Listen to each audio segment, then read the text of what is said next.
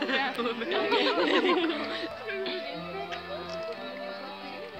fait, ils auraient dû prendre une baffe.